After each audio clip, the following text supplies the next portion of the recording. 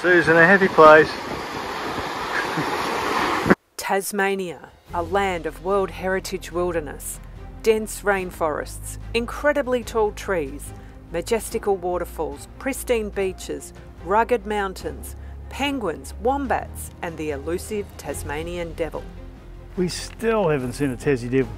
In this episode, we breathe in the world's cleanest air as we travel from Eaglehawk Neck to Freycinet National Park, visiting the stunning Wineglass Bay before heading up to the Bay of Fires.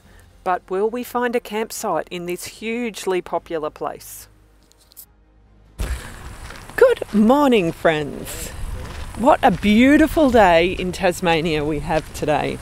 And we are making our way to Freycinet National Park. But before we go there, we've got a couple of extra places to check out here near Eaglehawk Neck. That's well cool. Whoa! This was once a cave and the roof collapsed.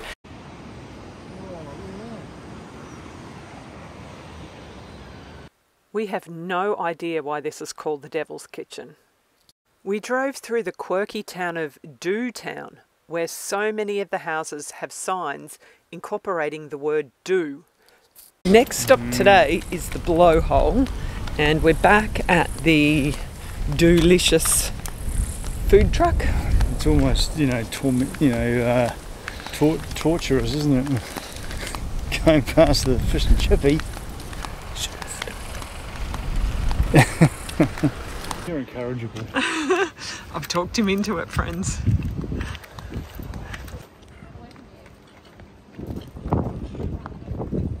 And the last of these three rock formations that we're seeing today is the blowhole. I actually think this one's a bit of a anticlimax, particularly compared to the other two. However, with a, with a real good stormy swell, it'll be pretty impressive, wouldn't it? It would be, yeah. Come down on a real stormy day, it's pretty exciting.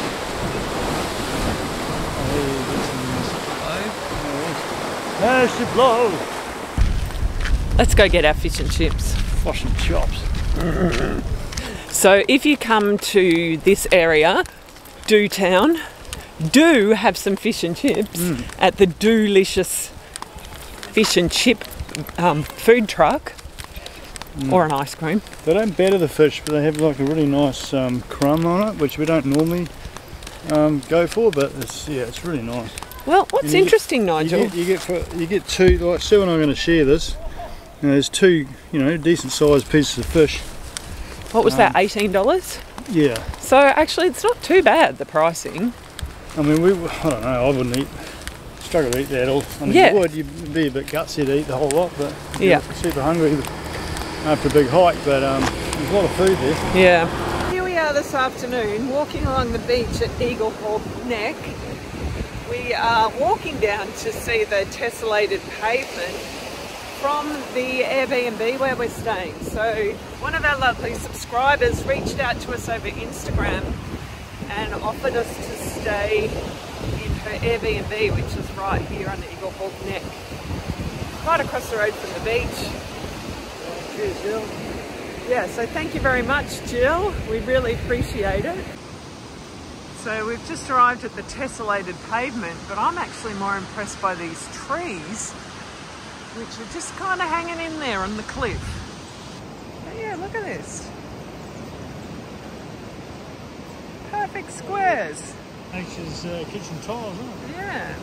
I need to break out into a bit of um, Do it, Nige, do it. Hello, Frank Walker National Tiles. I have a new range. Nature's own. It's called the tessellated uh, kitchen tiles.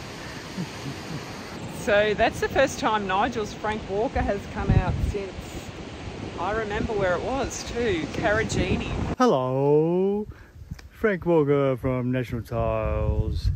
Welcome to my new range in the Pilbara.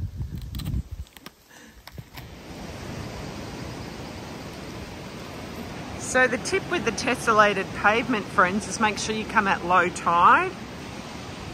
It's quite uncanny. Look at how perfectly straight that is. Perfect straight blocks be um, just flipped Yeah. out and, and put, you know, put on a building site. It's crazy, hey? So this is the view of the tessellated pavement from above. Here's a travel tip, friends. Don't trust Google Maps when they send you on a shortcut. I've made the call uh, and I'm probably regretting it already. Literally, we've got 30 kilometres to go on this uh, shortcut. Maybe we'll turn back. It's pretty nasty.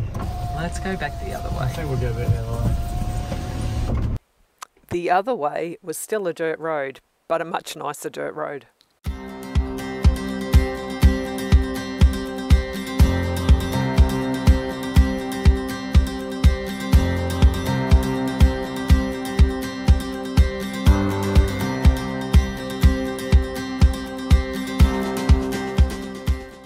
Sadly, the beachside free camp near Freycinet is currently closed due to bushfire damage, so we stayed at this one called River and Rocks, along with a lot of other people. He's doing it, friends. Look at that. The oysters are coming out. Don't you dribble oyster juice on the bench, buddy.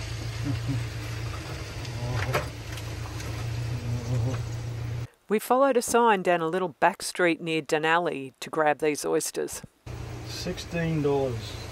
That is even more exciting. These mountains or rock formations are called the hazards, and the next day we drove down to hike in and amongst them. Still in your PJs. Yep. But So I, you? but I, yeah, I'm still in my rompers. Um, but look at this, we've got uh, one hell of a fry up on the go here. That looks exciting. It is. Shrooms, beans, a bit of health in there. Nice. This, this will prepare us nicely for our um, big hike coming up. Another bloody 4,000 steps. Yeah, the legs. It's very sore. Day three after doing 4,000 steps, and I'm about to do another 4,000. Yeah. And that's not just walking steps, that's up and down. 4,000. Tough it out, walk it I out. know. Yeah, Exactly. right. The old fashioned way. Pre hiking breakfast. Nigel's pretty excited. Mm-hmm. Down tooting.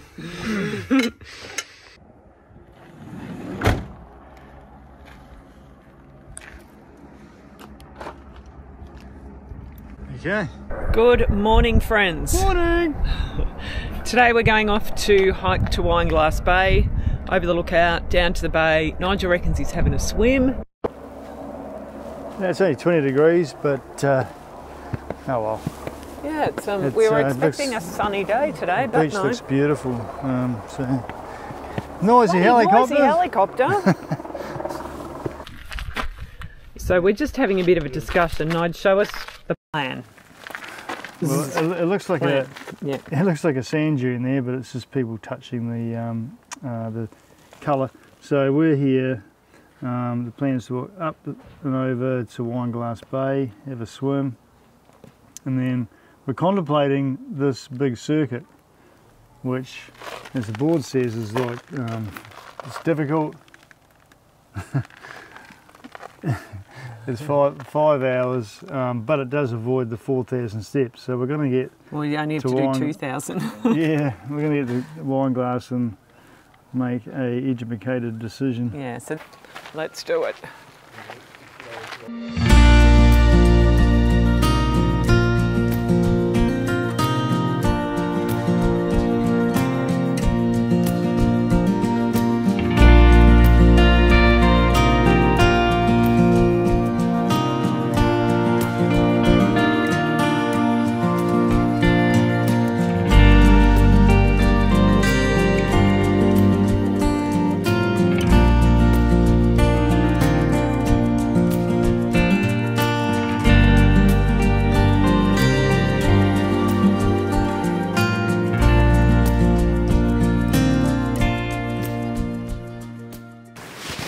So this is where we are. We're almost at the lookout, a thousand stairs down to the beach. We're constantly reminded that um, we're not allowed to uh, give you some aerial shots, friends, which is a bit sad.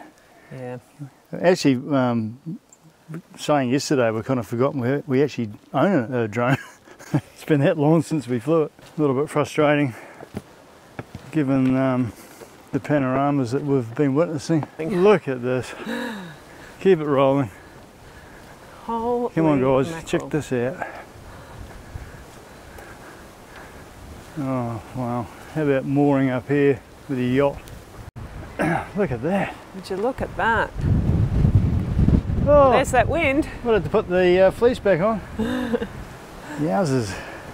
Oh, There's that's wine glass stunning. It's so spectacular.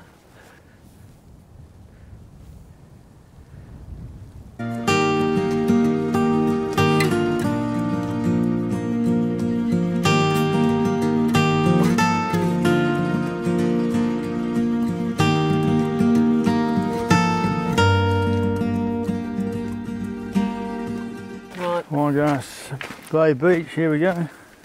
steep, slippery track. Oh, shivers. You're gonna love this. Here he comes again.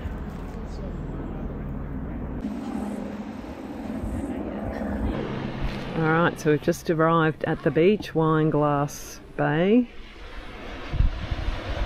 Nigel's getting ready, What a beautiful looking beach. mm, isn't it? Wow, no one's in the water, what the hell? What's wrong with these people? What's really cool about this beach is that there is no vehicle access here. You either come by boat or you walk.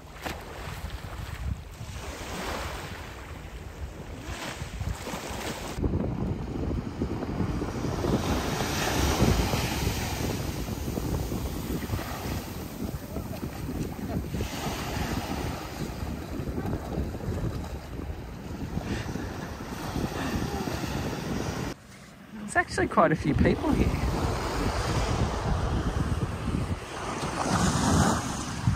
It's quite busy. He's totally posing, look.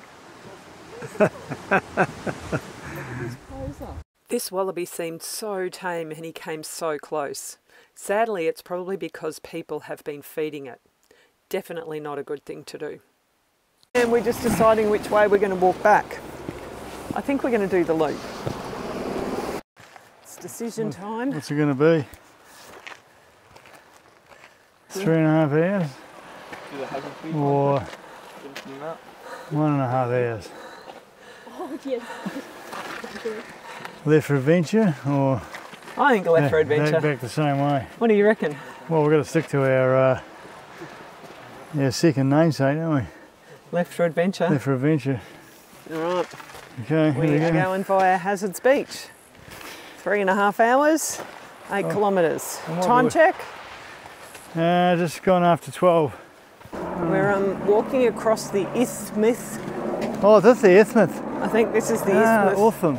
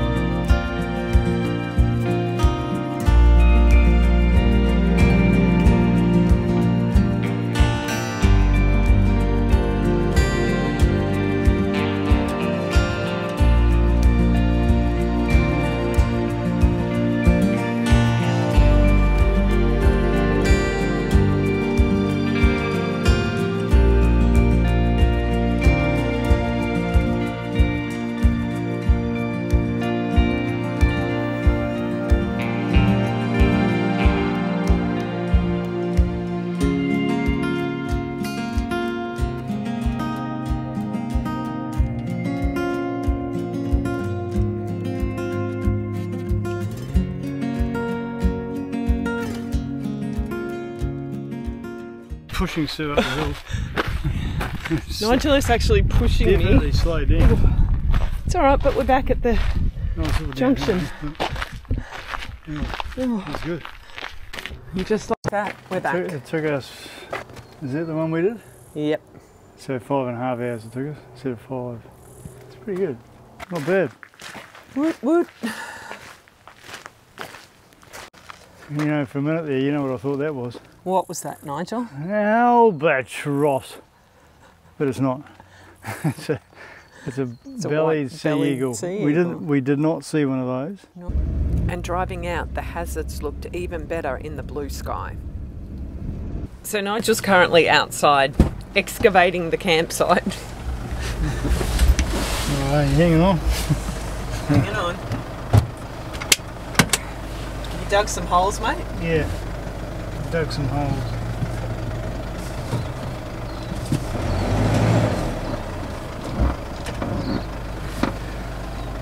Does that feel better for you? I still feel a bit cockeyed. Let's check the levels.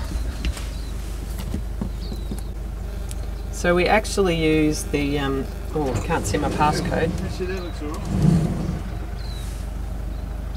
We use this app, it's in the measuring and it's got levels on it. So, yep, level that way, level that way, perfect. So, this is the van in full van life reality mode. I'm eating out of a container that the stuff was in the fridge and some poppadums there. Not just pouring a wine. We were going to go to Devil's Corner today, but we ran out of time, so. Um, So, but we did the right thing. We got a Devil's Corner bottle. Look- Looks good. Computers everywhere, food, clothes. Yeah. It's typical van life. Let's see how this is. It smells nice. Cheers. Cheers. I like it. That'll work. Mm. That'll work well. Mm. It's very nice. Well, it was recommended to us the uh, of all the um, wineries around here, and there's lots. We- Yeah. We, passed heaps, didn't we, on, on the way here? Yep. Um, so well done, Devil's Corner. The next day we continued north, heading for the Bay of Fires.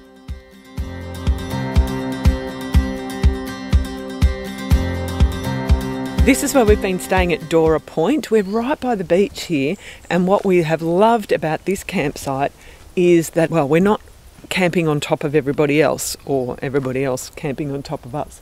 So we've had this nice big site. The sites here are numbered. Uh, there are toilets here, but no other facilities. And just a short walk down there takes us to the little beach. Okay, might be able to just make out the van through the trees there. The track past the toilets leading to the beach at Dora Point.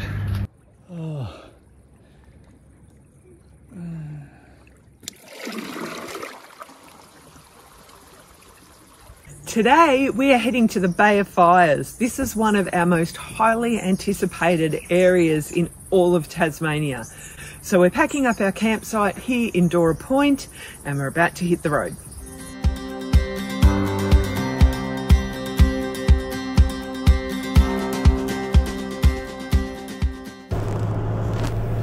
So we're back on the road and heading for where are we going to go now? To Cozy Corner? Cozy Corner. Swimcart Beach is supposed to be the most popular, and I think that's because it's an actual beach. But yeah, so I'm excited for this part of our journey. Yeah, I'm yeah, really looking forward to the Bay of Fires. it's been talked up, so expectations are up here, um, which can sometimes be your detriment, but we'll, yeah, we'll, we'll take it as it comes. After checking out several very full campsites, we turned off down to Swimcart Beach, not holding out much hope. Well, is he going?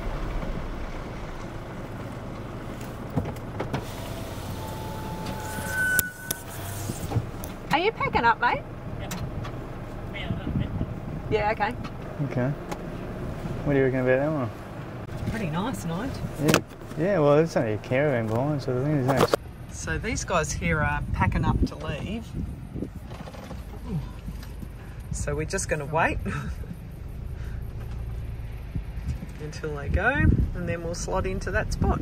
This is like the the primo spot. Swimcart Oh. Beach is like Is the it? primo campsite. Ah, yes, good. this Oh, is well, the one that's- everybody that's wants good to know. get to. but for today, I reckon this is No, it's primo, primo. and we can just pull in there and just Put the awning out. yeah. pad up. Nigel always scares me about tipping over, but we are. Look at the lean we're on. we're on a big lean. Yeah, it Yeah, doesn't that get was- much better than this for a million dollar view. That was a good spot, Nigel, seeing that they were packing up. Yeah, I just saw the his um, support going up. and I Yeah. thought, oh, hang on. I mean, it literally just started when we drove past. Yeah. Yeah. So it would have been I easy to think miss. from Queensland too. Living the dream. Ant and Janelle. God love yous. Yeah. Here we go, right into this beautiful little spot. Look at this, right on the beach. Does it get any better? I don't think so. They call this Millionaire's Row. And we are locked in. Look at this. Yo! Loving it. Sue's excited. She's running to the water. Not to have a swim, just excited. I'm alive, I'm alive!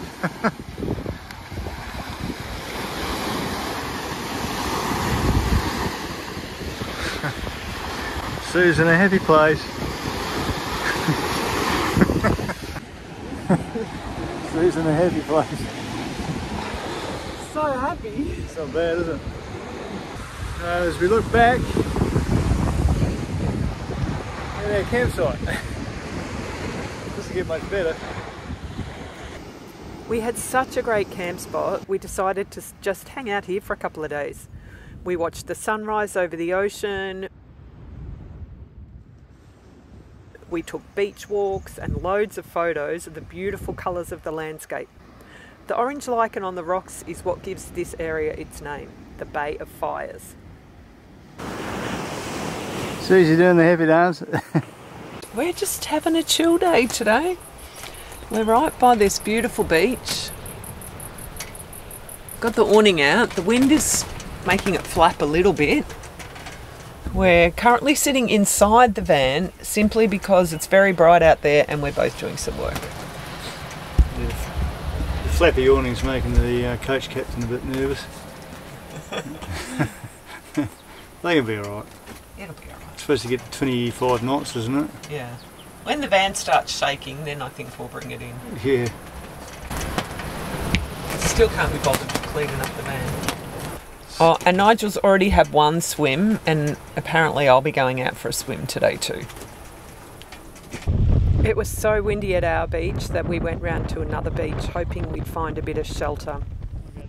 As usual, Nigel's straight in while I hesitate.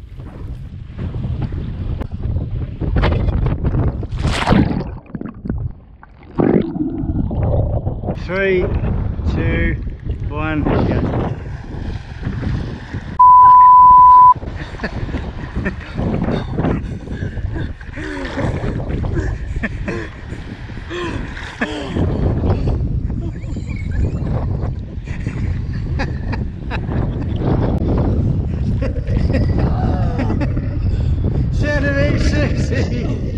Yeah, it was cold.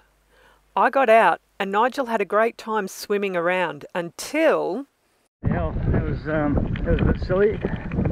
Took the keys for a dip. Like a, hopefully, hopefully I haven't um, drowned them. Six hundred dollars for one of these bloody things. So, Nigel, what are you doing? Um, nothing. so took the um, keys for a bit of a swim. Six hundred dollar flipping key. So, yeah. we'll put it in the He rice. is now in the rice overnight. Join us next week to find out if the key works and the van will start before we have, or Nigel has, even more misadventures. Thanks so much for watching, and we'll see you next time.